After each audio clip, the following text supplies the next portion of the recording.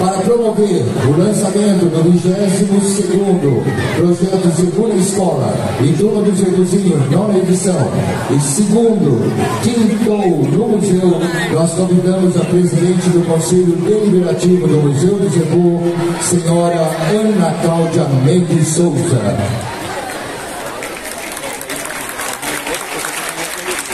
E nós queremos pedir também os aplausos a vocês, porque agora já está entre nós a dona Yara, que também é uma defensora desse projeto e da educação de toda a criançada em relação à busca do entendimento maior do que é o Museu do Zebu. É ela, com a fita branca na cabeça. É só a frente, Vanessa. Bom dia a todos estar aqui hoje com vocês. Já um bom dia tão animado com o Sérgio, né Sérgio? Foi muito lindo escutar o som de vocês, então vamos escutar de novo, porque tem gente que chegou agora. Um bom dia lindo com vocês de novo, pode ser? Cadê o bom dia, Sérgio? Me ajuda aí. Gente, vamos lá então? Um, dois, três. Linda, isso aí mesmo. Criança tem que ser vibração, né, Ana Paula? Exatamente. Bom, eu queria colocar aqui para vocês que com muito carinho foi preparado essa manhã e dizer para vocês que estamos aqui com uma revistinha toda repaginada, com uma carinha bem simpática para vocês se divertirem, aprenderem, estudarem um pouquinho aí da nossa história, né? E o museu vem com essa responsabilidade, com esse papel de poder plantar, de poder ensinar para vocês a nossa história da nossa zebu, da nossa pecuária, da nossa cidade, né? dos pecuaristas que tanto contribuíram e que continuam contribuindo para o nosso zebu.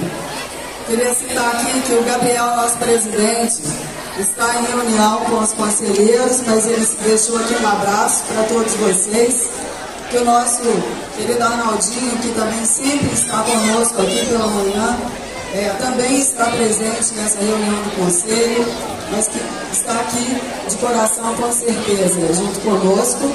E hoje, amanhã é de vocês. Eu não quero estender muito a minha fala, não, porque tem muita coisa boa e divertida nessa manhã, feita com muito carinho para vocês. Queria deixar o meu agradecimento à equipe do museu, aos estagiários, a Gorete querida, a todos, o Geraldo, todos esse, o Thiago que esteve com a gente, os nossos conselheiros que estão aqui, a nossa Dioni e né, Paula. Passa aqui, gente, deixa eu apresentar aqui para vocês, vem cá, que tanto trabalharam com a agência, com a comunicação, para que tudo chegasse com muito carinho os giz de cera, né, as cores, né, Paulo e Dionísio, com muito critério, com muito carinho, que vocês possam aproveitar mais essa manhã. Muito obrigada. Vamos lá. Obrigado, Cláudia. Dizer, peraí, só um minutinho. Dizer que o museu está aberto, nós estamos com uma amostra né, toda contando os 40 anos da nossa pecuária e que vocês vão poder, através da visita do museu, conhecer muito da história do trabalho lá em cada sala. A gente diz que é uma viagem no tempo. E realmente a gente está falando de passado, presente e futuro. E, na verdade, hoje, a gente tem a sustentabilidade, né, Sérgio? Então, para vocês hoje, vocês são o nosso futuro, né? Então, eu queria deixar esse recado e também dar boas-vindas ao pessoal do material escolar.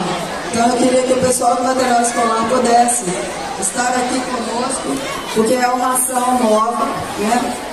É, é, eles estarão interagindo com vocês também durante o parque, na visitação e aqui, ok? Sejam bem-vindos. Ok? Muito obrigado. Obrigado, Ana Cláudia. Pessoal.